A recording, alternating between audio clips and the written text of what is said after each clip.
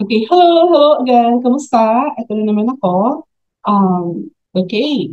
So, sa mga wala kanina, for the first module, my name is Annie Kulanan, and I would like to request for you to follow me on Instagram. Ito siya. Kasi, doon ako mag-share ng mga worksheets, templates, guidelines, checklists. Kasi, um, kulang ang sessions natin para maturo ko sa inyo lahat. So, bigay nila ako ng freebies. And pwede nyo din i-scan ito, itong QR code para makapunta sa Instagram account. So, nandun siya, nandito siya sa link in bio. So, pinakaunang link doon, yun yung pindutin nyo, download nyo siya. It's for free. Binibenta ko siya, pero for today, up to Monday, it's for free. So, download nyo agad right after this lecture. Okay? Para meron kayong copy right away. Baka matunugan ng mga followers ko. So, na free na pala ngayon. So, i-download nila. So, sayang benta. Hmm. Okay, I'm a marketing and creatives professional for 12 years.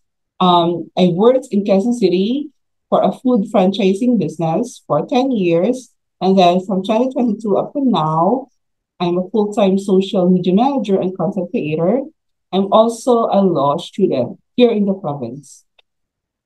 Um, nag-guest ako dati sa Chris TV.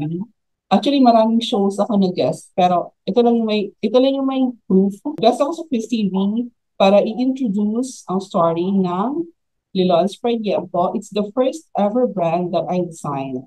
So, gumawa ko ng brand story, tapos kinuwento ko yung pagkain, kung paano niluluto, kung taga, sabi ko, taga Cebu kasi naliyan ko to. Sabi ko, taga Cebu yung kusinero, yung mga nagtatrabaho sa production, mga nagmamarinate, taga Cebu. Tapos yung mga materials or ingredients na pinagagawa namin ng liampo, galing din sa Cebu. So, ang pag-uusapan natin ngayon ay brand identity, ay content writing. So, kanina, brand identity. Next week, engagement strategy. So, content writing. Content writing on social media. Sabi ni Bill Gates, content is king. Yun king.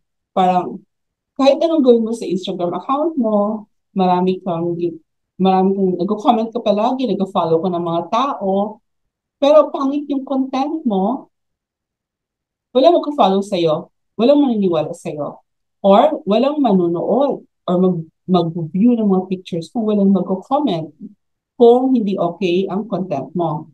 Or kung may binibenta ka man, walang bibili ng content mo kapag hindi okay. Hindi sila interesado. Wala silang pakialam. Hindi sila makarinig. So, kailangan para mag-grow ng business sa social media, content is key. Dapat isipin. Content yung priority. Parang ito. Yung kinikwento ko dito, yung video na to content yan. So, kailangan ikwento yung behind the scenes, yung mga background, para maniwala sa yung mga tao at bibili sila. Di ko sinabing, bili na kayo, kinuwento ko lang. Yun yung content. Content writing. What is content? Words and images online. Lahat na nakikita natin sa online, sa internet, content yon Yung mga vlogs, yung mga articles, yung mga balita, kahit yung mga post, yung text lang na, hi, kamusta? Na, nag-post ka lang sa Facebook. Content yon Lahat na nakikita natin content. What is content writing? Writing for online content to convince someone to take action. So, ang content writing, ang purpose niya is para may gawin ang nagbabasa. I-convince sila na may gawin. Kung ano man yung gagawin, depende yun sa'yo. What is content marketing? Making content to sell something without selling something. Lahat ng business all boils down to sales and marketing. So, kung ano mang ginagawa mo na content para sa business, ang target nun is makabenta. Pero, hindi mo sasabihin, bumili ka na or mag-shop ka na or buy now. Content lang. Kinikwento ko lang sa'yo. Kwento ko lang para alam mo lang. Yun yung content. Hindi to buy now. lahat ng content sa Instagram, Facebook, lahat, Twitter, LinkedIn, uh, YouTube, Pinterest, blogs, lahat yan. Lahat na nakikita mo dyan ay content. And madami dyan ay pag business account, kapag business account ang may-ari, lahat ng pinupost nila para makabenta yung lahat. Kahit di nila sinasabi they're selling, it's for sale sales yung target. Target is to sell. Ayan. So, umpisa, anong, anong content mo? Anong, anong target ng content mo? Bakit ka gumagawa ng content? So, kailangan, umpisa pa lang, iset mo yung goals and objectives. So, kung meron kang client, tanungin mo, ano bang gusto mong mangyari sa account nito? Ano bang gustong gawin ng mga audience mo, ng mga followers mo? So, kailangan iset up nyo yan from the beginning pa lang. Para yun yung mag-guide sa'yo kung anong content ang ipopost. Kaya, so, uh, ang bottom line lang naman ng mga businesses is para makabenta. So, yun na yung, yun na yan, yun na yan. Pero sa umpisa, syempre, gusto nila mag-grow ng account nila. Build awareness. Tapos, build a community, an engaged community. Tapos, after that, magbenta. So may stages yan, hindi agad-agad benta. Kasi kailangan mo munang kunin yung tiwala nila sa'yo bago mo sila bentahan. Para maniniwala sila sa'yo, para bumili sila sa'yo. Ganun yung content marketing. Tiwala. Iset mo ang sarili mo bilang expert, bilang authority para makinig sa yung audience mo. And then, saka ka magbenta. Yung favorite ko si na Elon Musk, di ba? Magaling siya, nag-tweet siya palagi. Tapos, sabi, sinabi niya dati, yung sa Doge to the moon, tapos yung Doge na Bitcoin, na ano, Doge na cryptocurrency, biglang sumikat dahil kay Elon, dahil idol ng mga tao si Elon, naniniwala yung mga tao sa kanya. 100 million plus yung followers niya sa Twitter. Sumikat yung Doge coins. Joke lang yun. Joke lang yun. Pero sumikat siya. Hmm, kasi yung content marketing ni Elon, super effective. Ngayon, smart goals and objectives. Kailangan ang goals and objectives mo, smart goals. Ibig sabihin, specific, measurable, achievable, relevant, and time-bound. Specific. Example, to grow my Instagram account. Yung ako lang to, sample ko to. Yan, kailangan ano, specific. Ngayon, measurable. To have 10,000 followers. Kasi hindi pwedeng to grow my Instagram account tapos nag-gain ka ng one follower, go na yun. So, kailangan measurable para malaman mo yung success. And para malaman mo kung anong pwedeng i-improve. May effective ba yung ginagawa mo. Kailangan mami-measure. So, to grow my Instagram account, hindi one follower, grow pa rin yun. Gusto ko 10,000. Achievable. Kaya ba to? Currently, meron akong 2,000 plus follow meron akong 2,000 plus followers. So, 8,000 na lang hahabulin ko. Kaya, nakagrow nga ng 2,000. Kahit hindi ako kilala. Baka ma- kaya naman makagrow ng 10,000. Relevant. Relevant dapat. Alam nga namang, ang, ang, ang goals ko is, um, I need 10,000 followers on Facebook. Eh, sa Instagram na yung goal. Kailangan relevant. Time-bound to have 10,000 followers in 2023. Kasi pag may date, ang goals mo kapag may date, nagiging plan. So, um, 10,000 followers in 2023. Ang tanong, achievable ba? 2,000 ngayon, 8,000 yung grow ko 2023. Kaya, kailangan maging realistic. Diba? Kailangan maging realistic. Para after ng 2023, December 31, 2023, pwede mong masukat nagkaroon ba ako ng 10,000 followers? Success. Paano kung 9,999 lang? 9,999. Pwede na rin. Paano kung 5,000 lang? Fail. Ganun talaga. Pag sumobra, wow, amazing. So, para ma-measure mo yung success. So, meron ka ng goal to have 10,000 followers in 2023. Meron kang monthly objectives para magkaroon ng 10,000 followers, kada buwan, dapat may mag-follow sa iyo na 834 na account. Tapos, araw-araw, 28 followers per day. Diba? So, ayan, meron ka ng goals, meron ka ng objectives. So, anong gagawin mo para magkaroon ng 834 followers per month or 28 followers per day? Parang ang hirap. Ito yung isang tip. Kailangan mong i-break down yung goals mo into smaller goals, smaller objectives. Kasi, imagine mo, 10,000 followers, parang ang dami. 2,000 lang yung followers mo ngayon. Pero pag 834 followers in a month, pwede. Parang achievable. 28 followers in a day, pwede. Parang mas lumiit yung goal. So parang pwede. Pero kailangan consistent. Araw-araw mong gagawin. So, ano nang next mo na step is anong content ang ipopost ko para may mag-follow sa akin na 28 na tao isang araw. Kasi sabi ni Bill Gates, content is king. So, yun yung pinakauna. Of course, after ng content, meron kang engagement strategy, hashtag strategy, um, Instagram story strategy, lahat ng growth strategy. Pero yung pinakauna is content. Yun yung pag-uusapan natin ngayon. So, pinakauna, define your target audience in a client avatar. So, pinag-usapan na natin sa previous video, pero screenshot nyo na lang to. Screenshot nyo, sagutin nyo to. Nakaka- nakaka-apekto tayo.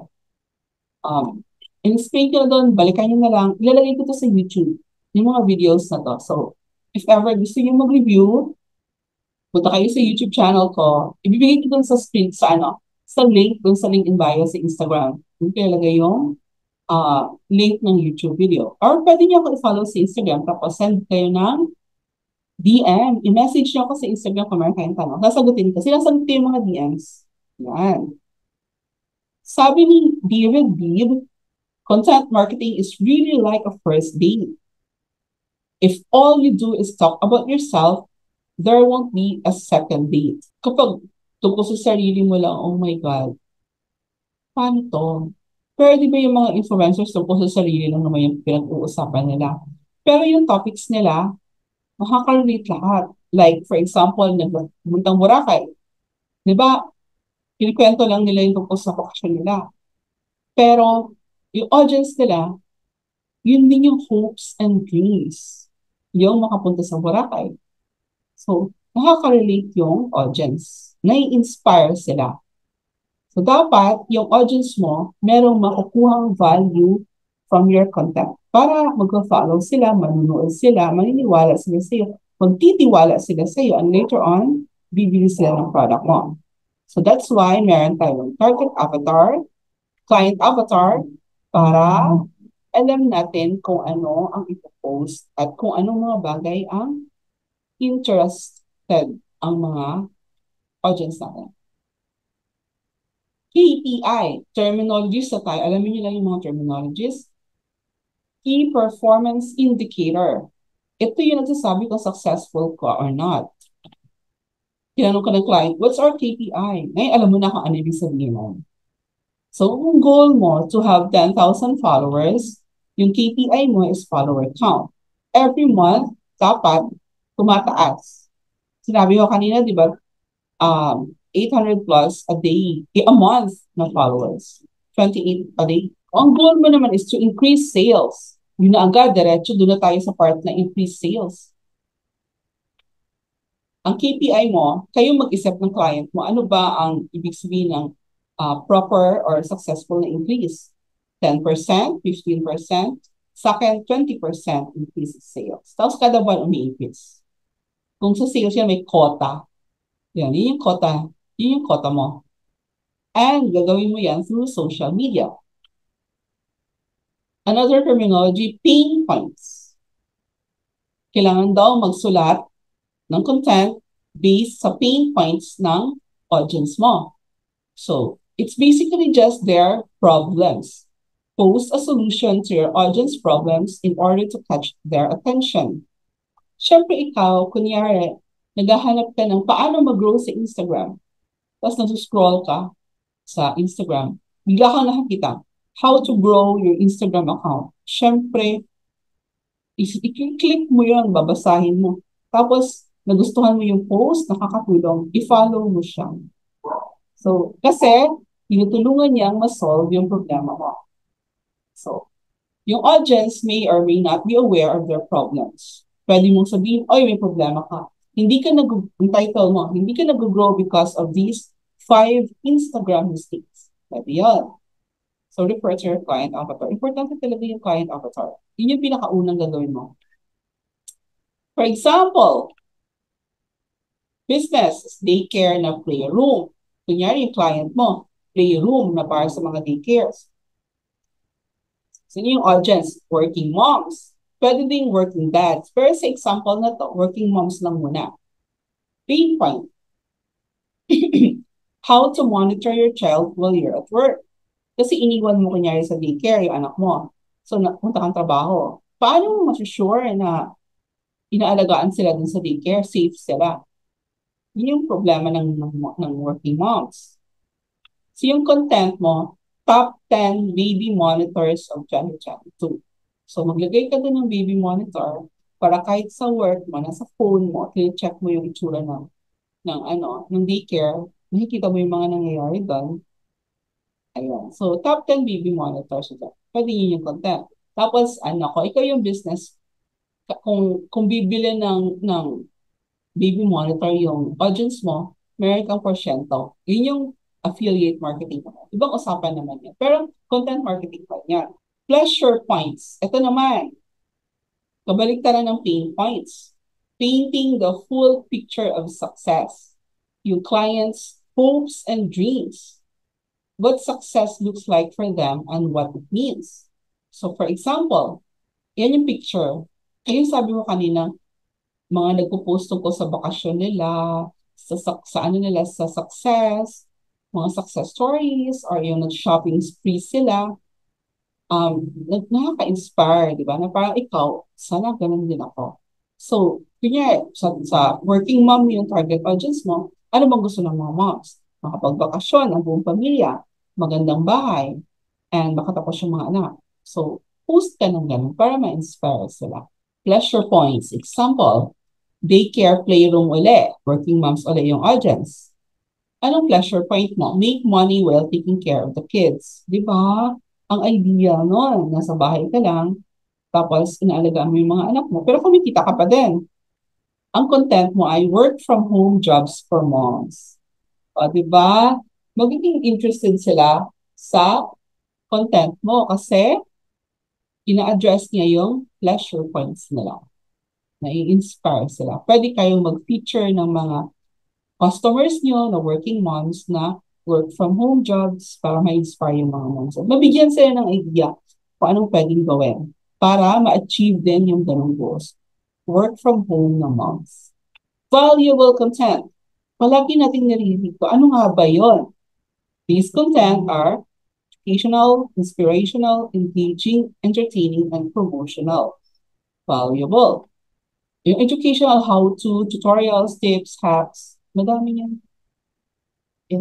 Inspirational quotes, success stories, engaging questions, games, and popular opinions. Ito yung mga ano, content na mapapa-comment talaga sila. Kunyari, may, may, merong isang content ako nakita dati, nagpapalit ng diaper ng baby. Tapos mali yung ginagawa niya. Tapos nagtanong siya, tama mo yung ginagawa ko? So, engaging content yon Um, magko-comment yung, ay, mali yan. Diba? entertaining, jokes, memes, relatable quotes. So, ano yung mga memes?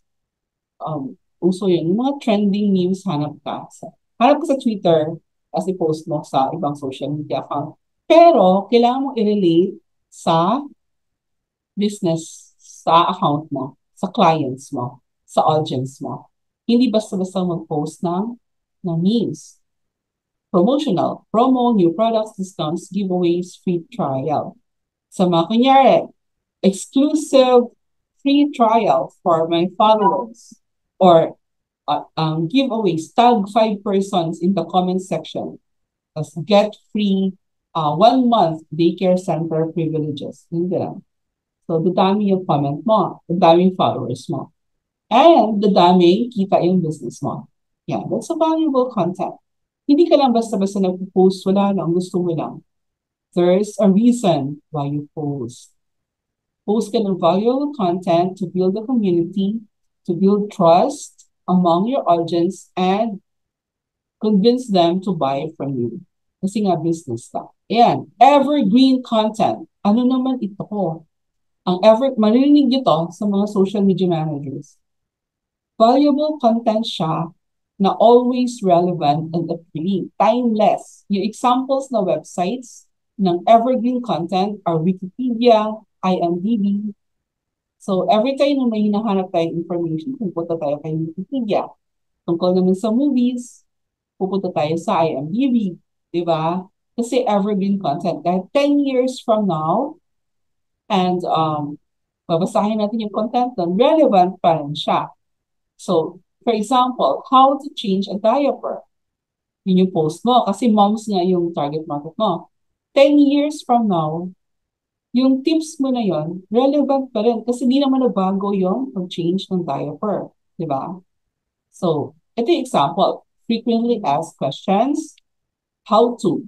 Yun how to change a diaper testimonials. So, kunyari, may customer ka na tuwa sa daycare center mo, sabi, hi, ang saya dito, ang bait-bait ng mga um, nagbabantay, um, affordable pa siya, sulit, value for money.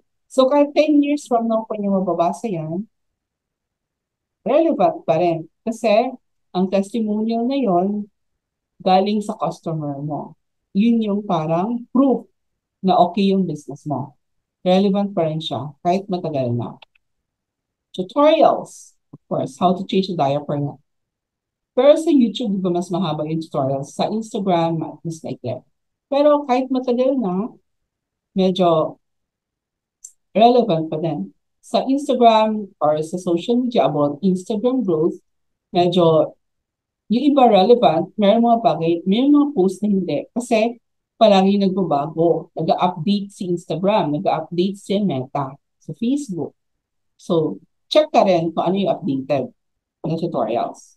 Industry resources. Ito yung mga articles, mga books, mga studies, case studies. Yan. Ginagawa siyang reference ng iba't ibang tao sa industry ninyo. Glossary of terms and phrases. Yung mga meaning ng mga words and phrases, di naman masyado nagbabago yun medyo matagal bago magbago. So, timeless din siya. History of, di ba? History of diaper, uh, di ba? History of daycare center. Di yan magbabago. Timeless siya. Kaya 20 years from now, di yan magbabago. Valuable pa rin siya. Okay. Next, viral content. Yung gusto, gusto natin mag-viral. Pero tip lang, tip. Hindi mo kailangan mag-viral para makabenta konti lang yung nag-viral. Sobrang limited lang yung mga content na nag-viral. At um, nakakatulong siya. Pero nag-viral kami dati, dati sa dati kong client. Um, restaurant yon nag-viral siya. So, for two weeks, dinagsa ng tao yung ano, yung restaurant. Hmm. Tapos, nag-stock siya ng products for two months. 'di ba? Order siya ng order para hindi mo ubusan. Eh, yung audience, two weeks lang dumating. After two weeks, wala nang pumunta. So, anong gagawin niya sa stocks niya for one month? 'Di ba? So, nag nag-hire siya ng influencer para maging viral ulit. Para mabenta yung stocks. Kasi pera yun na hindi gumagalaw. Right?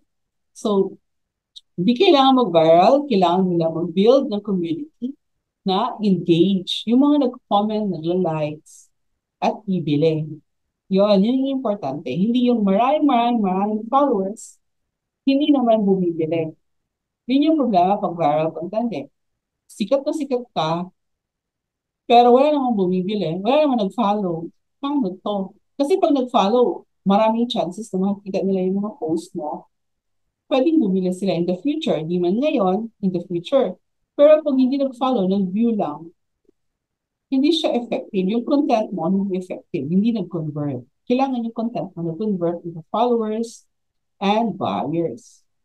So, pinak a decade ago, pag sinabing viral, 2012 to, 5 million views over a period of 3 to 7 days.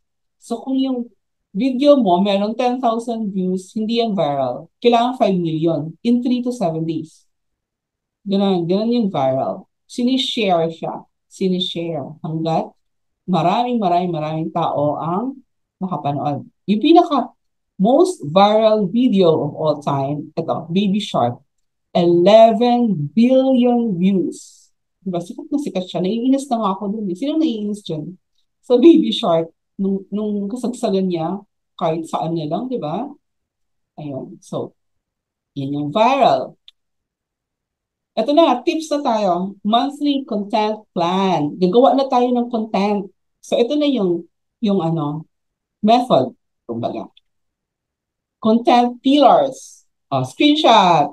So, content pillars, one to three topics where your content evolves. Pwedeng up to, up to five, pero baka ma-confuse ka na ng three lang, okay na. So, kunyari, daycare playroom yung business. So, anong content? Tatlo lang ang pwede mong content na content pillars. Promotional content, syempre bibenta ka. Child care, of course. Kasi bata, para sa bata, yun yung customers mo. And working mom. Yun yung content pillars mo. Promotional content, discount promos, new services, new products, schedule, or pictures ng bata na masaya. Yan yung promotional content. Child care, how to change a diaper. Yan. Yung mga ganong content how to bathe your your infant safely. Yung mga ganun. Uh, top 10 um, car seat uh, for babies.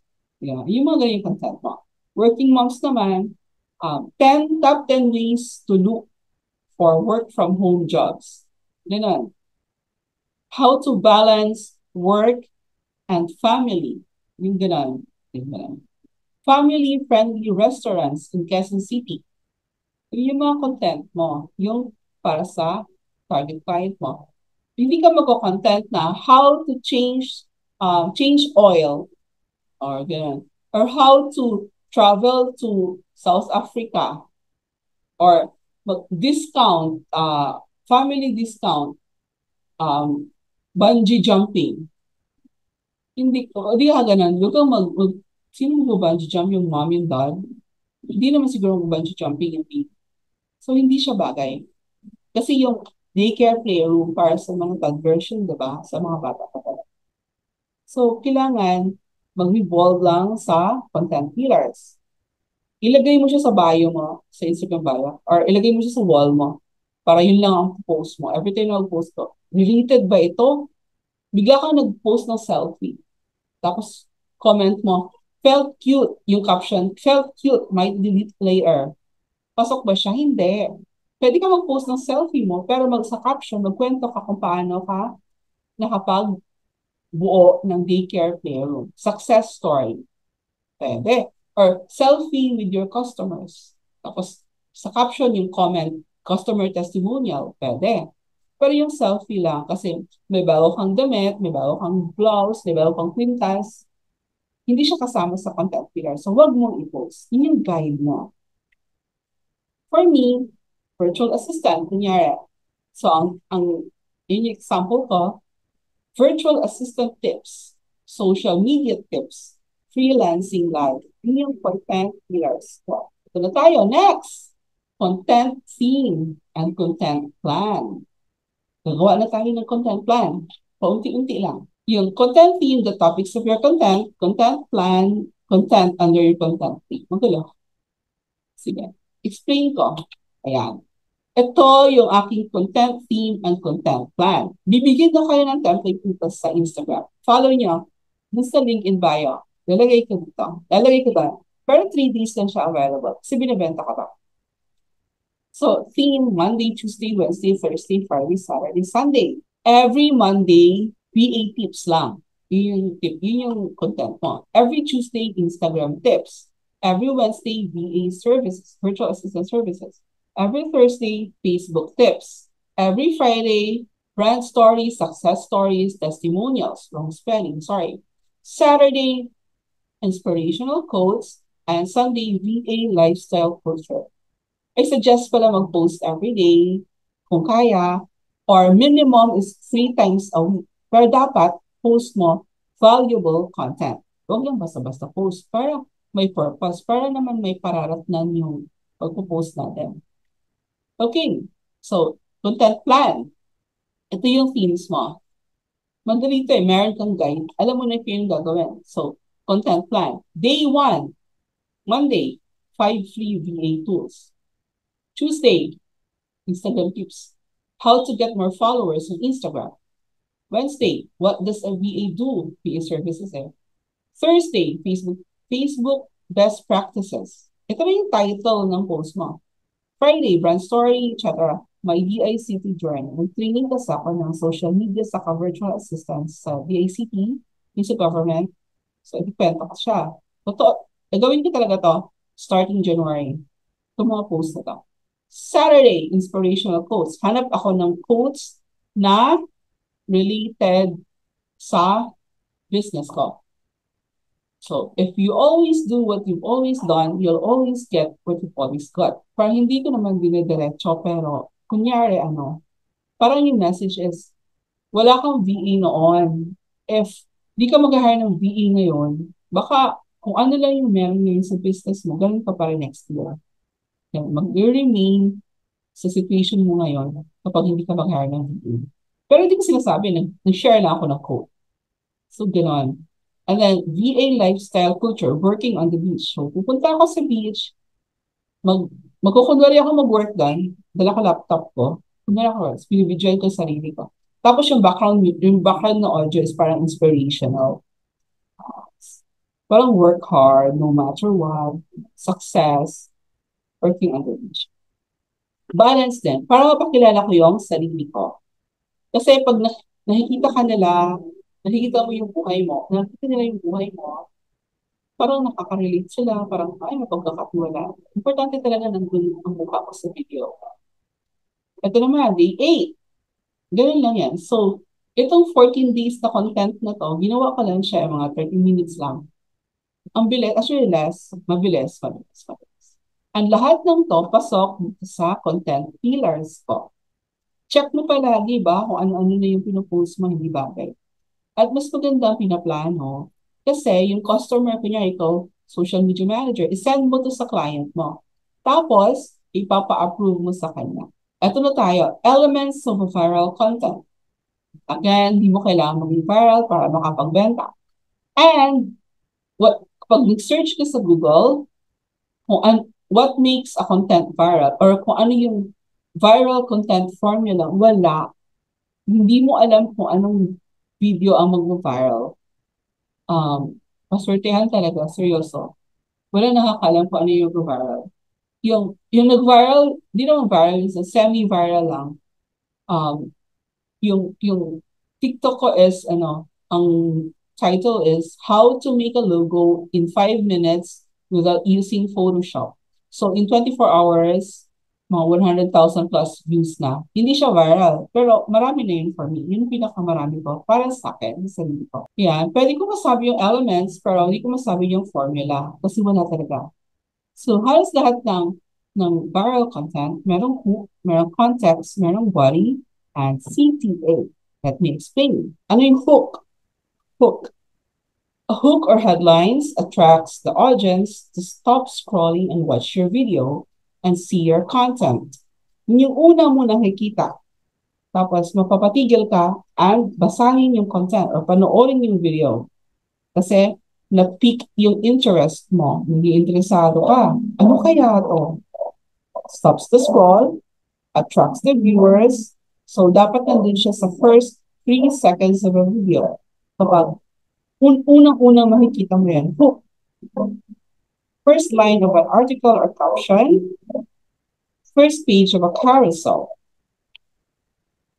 Sample of viral hook. Why is no one talking about this? Can I tell you a secret? The best advice ever. The secret to, for example, Instagram growth. The secret to having a girlfriend. You know, top five ways to get a boyfriend fast. Top five ways to get rich fast para maging curious sila at buksan yung content mo, panoorin yung content mo. So, ito yung mga samples. Formula for a viral hook. Gumamit ng trigger words. So, paki-screenshot na lang So pag nilagyan mo secret, viral, trending, proven, easy, free. Uh, secrets to in Instagram Instagram growth. Parang akin, uh, elements of viral content. Uh, trending methods in oh. daycare centers. Proven ways to make sales. Mga ganun. Easy formula to make a viral content. Or free guidelines to make a viral content. Mahilig kaya sa free So, bubuksan mo talaga yan. Use numbers. Sabi, sabi sa studies, odd numbers daw mas effective kaysa sa even numbers. So, far. Five easy steps to grow viral. Three ways to go to grow on Instagram. So, nine ways to be a successful businesswoman. Mga ganun. Hit a pain point. Pinag-usapan na natin kanina. Know your audience. For example, um, working mom, ang audience natin kasi daycare center nga yung yung business, yung pinpoint niya is, safe ba yung anak ko doon? So, ang, ang hook mo is, are you sure your child is safe? Hmm. So, sabi nga nila, oo nga, safe ba yung anak ko? Tapos, next pala, to make sure that your child is safe, install a baby monitor. Tapos, top 10 best baby monitors of 2022. Lista mo na. Ngayon, don't use clickbait.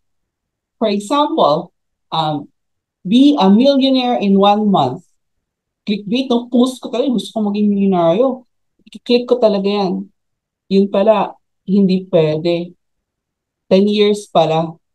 So parang, para lang mag-click, sinabi lang yung one month, pero 10 years. Huwag yung gawin kasi makakasira sa integrity nyo. Next time na may makita silang post mo na nagpa-promise ng something, di na sila may, ah, clickbait lang yan. So, protect your integrity para magtiwala sa iyo yung audience mo para pag may binibenta ka, bibili sila sa iyo. Context supports the hook and headline. So, kunyari, yung hook mo is top 5 ways to grow on Instagram fast. Context. If you're a small account and you want to get 500 followers per month, this post is for you.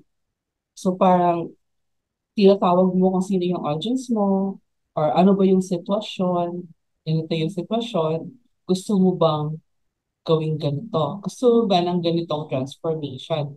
Kung gusto mo, para sa yung post na ito, contextualize. So for example, yung headline mo is Top 10 Best Restaurants in Binondo. Ito yung context. Yun yung next na sasabihin. Last Sunday, my friends and I went to Binondo and we found the best restaurants in the city. Tapos saka na papasok sa content. Body, yun yung content na. Yun yung laman, yun yung karamihan sa content nyo. Pinakamahaba na part. So kung headline mo ay five proven ways to grow on Instagram fast, tapos content, context niya ay, do you want to get 500 followers per month? Yung body niya ay, yun yung tips.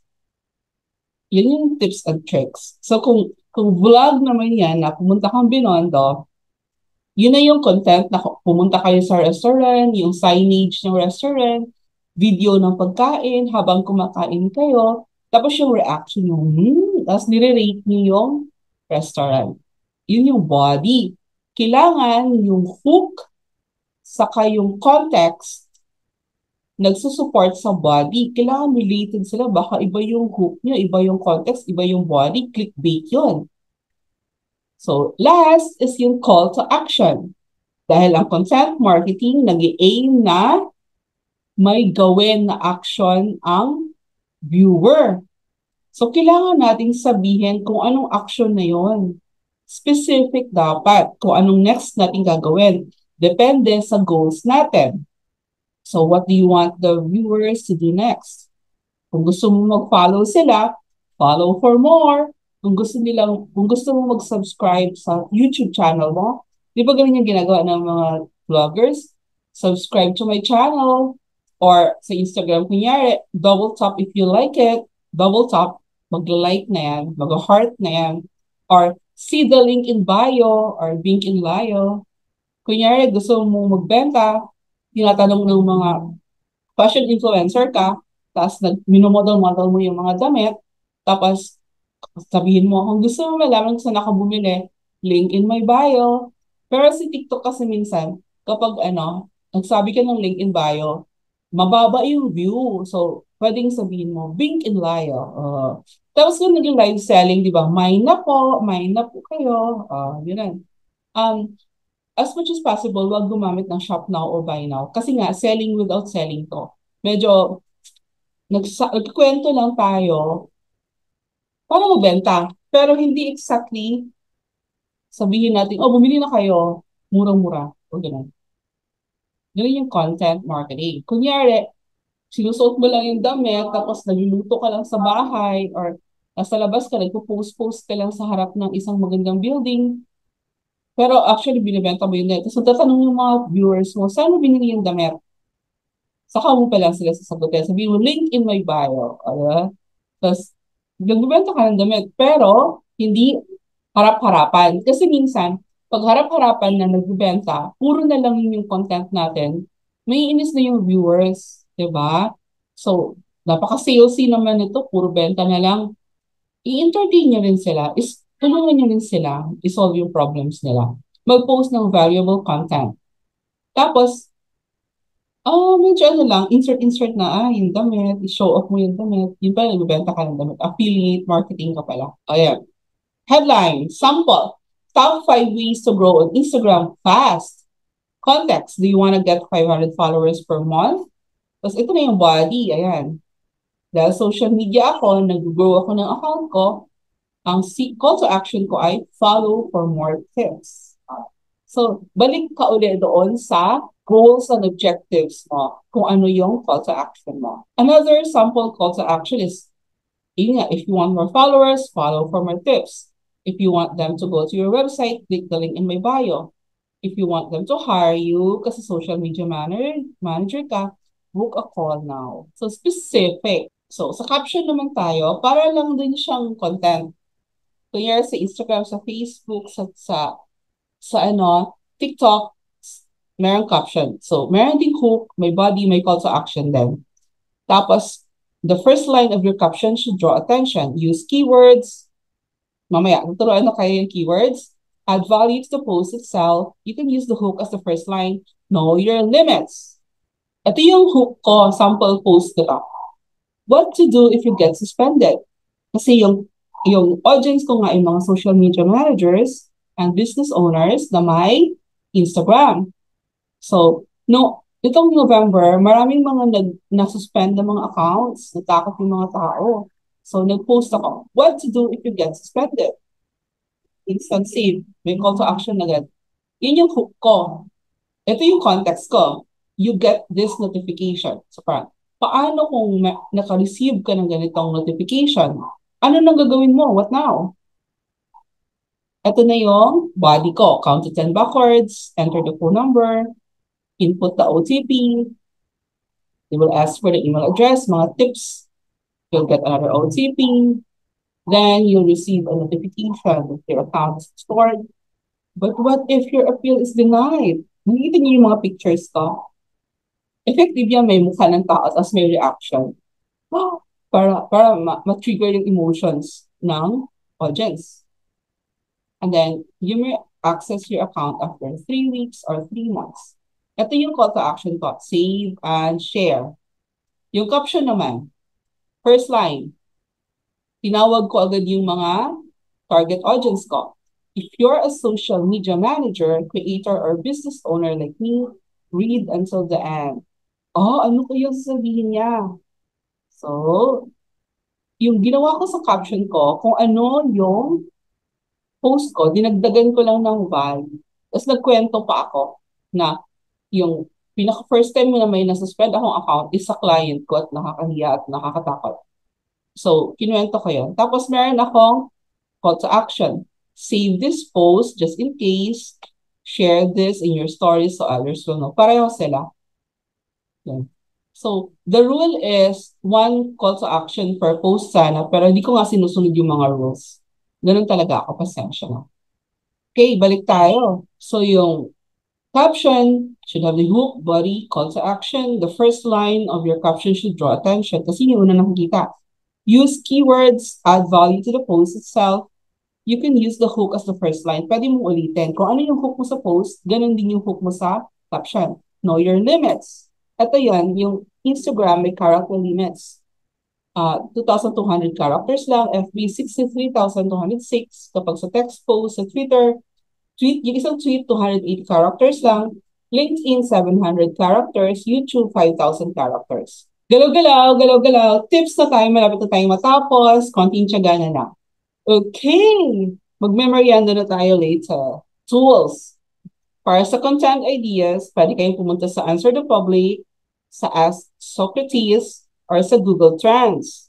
Um, editing naman, Grammarly, Quillbot, Hemingway, Ginger Project. Makita ko naman sa inyo yung Grammarly. Grammarly. Example. Ito. Kuha na ako ng example para makita niyo. So, ito yung mga sinulat ko. And, ito yung sabi niya, sasabihin niya kung anong tama. Vegetarianism is the umbrella term where veganism belongs. Sabi niya, which daw? Sige, palitan natin. Sundin natin siya. Which, oh, mas tama. Humans, the humans. So, kino-correct niya, yeah, product testing. So, kino-correct niya. Tapos, i-select all, tapos i-copy mo na lang siya. Tapos, ilagay mo na siya sa caption. So, ganun siya ka-easy. Okay, balik tayo. So, ganun lang din yung Killbot, yung Hemingway, saka yung Ginger Project. Magkakapareho lang sila. so, may content. So, paki-screenshot to and kayo na bahala mag-download. uh, favorite to you, answer the public. Okay five proven content ideas that got me more sales. Meron kasi akong food business. So, bibenta ako ng Vietnamese spring rolls sa ng Charlie Chan pasta and empanada. So, ito yung mga content na effective for me no, kapag benta. Tips lang, tips. So, screenshot nyo. So, una, good quality photos. Uh, okay lang yun sa phone. Basta maganda yung lighting. Tapos, hindi siya blurred. And huwag kayo mag-zoom. Lapit kayo sa products instead mag-zoom. Kasi, bumababa yung resolution kapag nag-zoom. The orders, so ano yun, nakapack na yung orders, tapos hawak ng uh, Lala Move driver. Client feedback, pag sinabi ng nag-message siya sa'yo, oy, ang sarap! Uh, screenshot mo yan, tapos i-post mo. User-generated content. Yan yung pinaka-importante, user-generated. Natuwa sila sa food mo, pinost nila sa sa Facebook nila, tapos itatag ka nila, o, di ba? Parang nirecommend na nila yung products mo. Tapos, siniscreenshot ko yun, tapos isi-share ko sa sarili kong account. I-screenshot nyo kasi minsan, pag na-delete nila in the future, wala na. Ayun. So, screenshot nyo, ilagay nyo sa account nyo. Evergreen content, yon Kahit years and years from now, effective pa rin yung content na yun. Makakonvince yung audience mo ay masarap na. Kaya maraming bumibili. Parang recommendation. Doon ako nakakuha ng customers. The most effective content is the one that tells a story. Uh, di ba naalala natin nung bata pa tayo yung story ni Cinderella, ni Snow White, yung mga naririnig natin yung mga stories na sinasabi sa atin ng parents natin, ng mga classmates. Yun yung naalala natin until now. Tapos, ang daming marites, di ba? Nakakatuwa yun eh. Yung chichismisan, mga kwento-kwento. Natutuwa yung mga audience doon. So, ikaw, mag-tell ka rin ng stories mo tungkol sa brand. Paano mo sinimulan ang business mo? Or kwento ka rin, uy, kaninang umaga may, may customer ako, uh, five years old na bata, pinabantayan sa amin. Ang kulit! Ang cute-cute niya. Meron siyang dalang mga candy, saka sa niyang stuffed toys. Tapos siguro na siya, tawag, tawag siya ng tawag ng mommy. Tapos sabi ko, pula tayong Jollibee. Tumahimik. Mga ganun kwento. So, that's the most effective content. Kwento ka lang. Tapos sabihin ng mga tao, Uy, ang saya pala dun sa daycare center na yon. Um, kapag umiyak yung bata, binibigyan niya ng Jollibee. Yun yung mga alala. Sabi ni Steve Jobs, the most powerful person in the world is the storyteller.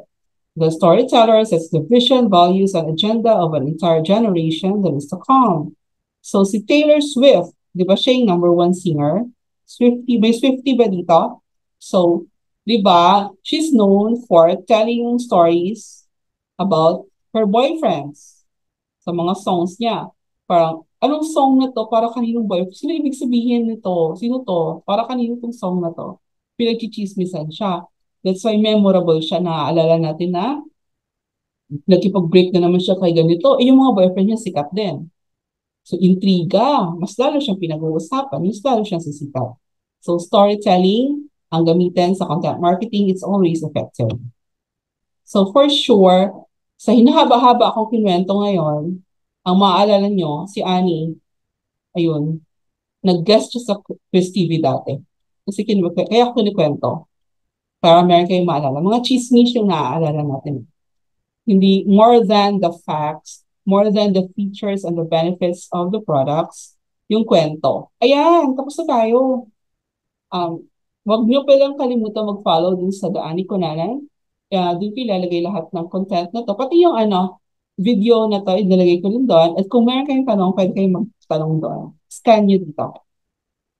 And last, uh, tips. Best practices in content writing. Number one, address the audience pain points and pleasure points. Number two, talk to one person. Isa lang. Kasi isa lang yung nag-hawak mo yung phone mo. Mag-isa ka lang namang nag, nag, nag, nag-scan. Diba? So, para mag-resonate, yung pinaka-important na word sa content writing is you. Hindi I, hindi me, ako, ako, hindi. Ang sabihin, ikaw, ikaw, ikaw. Yeah. Write evergreen content as much as possible para kahit lumang-luma mo ng content, mag-convert pa rin, babasahin pa rin, mag-follow pa rin sila for that, and mag-appear pa rin sa Google search kasi evergreen siya, timeless. Use keywords or keyword research sa Google Trends na website. Proofread, yung Grammarly na app, pwede gamitin yun. Kasi pag maraming wrong spelling, wrong grammar, hindi professional ang gawin. Your audience is human. Tao yung kausap mo ha. So, may feelings, emotions, may needs, may pains, may pleasures. Laruin mo yon kung paano ka makakapag-resonate sa kanila. Paano sila maaapektuhan. Ang pinakamagaling is, lahat ng content mo may emosyon. Naging masaya siya, naging hopeful, nagalit, natuwa, natawa, may reaction para maalala ka nila. Use tools to help you. Yung Grammarly, Killbot, kanina, yung Answer the Public, i-maximize natin yung tools para mas mapadali yung trabaho natin. Marketing psychology. I-google nyo to. Medyo mahabang explanation pero for example, kanina may sinabi ako sa hook na trigger words. Yung free, proven, guaranteed. Emotional yon Parang na-curious sila. Tapos pag sinabing proven, parang kampante sila. Susundin nila, ah, wala naman palang mawawala sa akin dito. Sundin ko na lang. So marketing psychology yan. Or, kunyari, sinabi ko sa inyo kanina na i-download nyo na kasi i-delete ko na to sa Monday. Yung mga links na yon ng mga freebies ko, delete ko na sa Monday. Para, para i-download yun agad ngayon na. Pero totoo, delete ko talaga siya sa Monday. Pag ganun yung ginawa nyo, yung scarcity, um, susundin nyo para maniniwala sila sa'yo. Preserve your integrity. And last, basahin niyo yung terms and conditions ng platform. For example, sa Instagram, sa Facebook, may mga words na bawal gamitin. So, i-search nyo kung ano yon. And huwag kayong mag-post ng bawal i-post. Ayoko nang banggitin. Mag-search kayo. Pero yung, yung, yung mga sexual content, violent, bawal yon. So, huwag kayong mag-post na. And huwag kayong magnakaw ng content. Dapat sarili nyo. Kasi baka masuspend kayo. So, kung meron kayong tanong, pakitanong na lang mag-try ako mag-live later para sa hotel. So thank you very much. Uh, meron pa tayong third lecture next week. So see you later.